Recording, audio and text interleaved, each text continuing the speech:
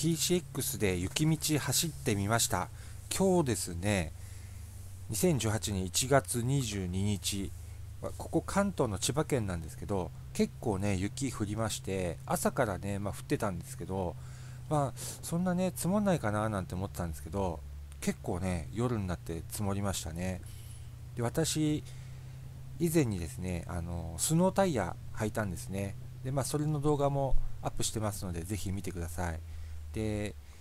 スノータイヤねこれ2セット目なんですね。で1セット目はね雪の上走ることなくあのもうすり減っちゃって2セット目に履き替えたんですね。でこれもね雪の上走ったことなかったんで今日ねせっかくこんだけ積もってくれたんでねちゃんと走れるのかちょっとね試したくて乗ってみました。最初はねやっぱり怖かったんですけどあの普通に走りますね。で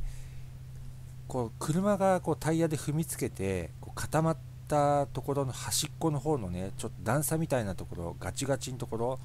そういうところを走るとあのちょっとねずるっていったりするんですけどふかふかのね雪の上走る分には全然大丈夫ですね。でその変なねあの段差みたいなところ輪ちのところをね乗り越える時に多少滑りますけどでもまあ一瞬滑るだけなんでね全然大丈夫ですね。で曲がるときねちょっとすごい怖かったんですけどもう普通に曲がれますね。ちょっとスピード落としてゆっくり行けば全然大丈夫ですね。もう普通のタイヤだったらねもう絶対こう曲がった時点でもずるっていきそうな感じのところでも大丈夫でした。で私これタイヤのね空気圧ちょっと高めに入れちゃってるんでで道路のねこの雪が潰されてこう固まったところ氷になってるガチガチのところを走ると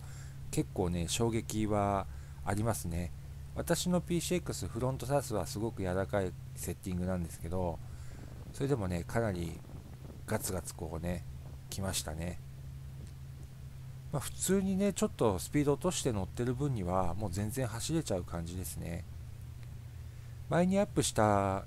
スノータイヤの動画下の方にリンク貼っときますのでぜひ見てください。あとスノータイヤのねあのリンクも下の方に貼っときますのでぜひ見てください。でここを曲がった後にですねあのすごい坂あるんですよ。でかなりの急坂で下ってるんですけど止まんないでずるずる行っちゃったらどうしようかなと思ったんですけど全然平気でしたね。で坂の途中でブレーキかけてみたんですけどもう普通に止まれました。でもこの辺も坂なんですけどねこの先もうちょっとこう坂が広くなってきてこの辺でねちょっとブレーキかけたらまあ普通に止まれましたね。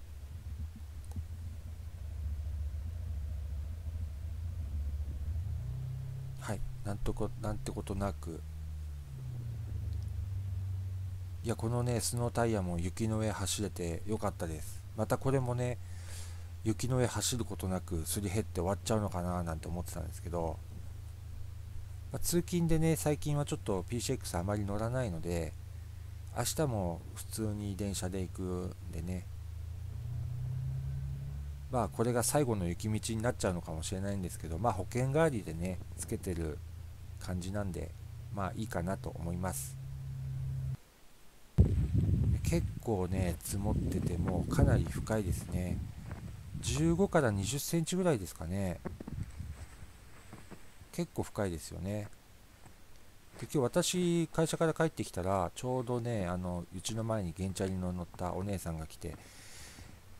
うちの前にねスクーター止めさせてもらっていいですか？って言うからもう坂道登れなくてあの置いてっちゃいましたね。でうちは全然構わないんでまあこんな日中勤もね来ないと思うので安のタイヤ履いててよかったですね。はい。どうも見ていただいてありがとうございました。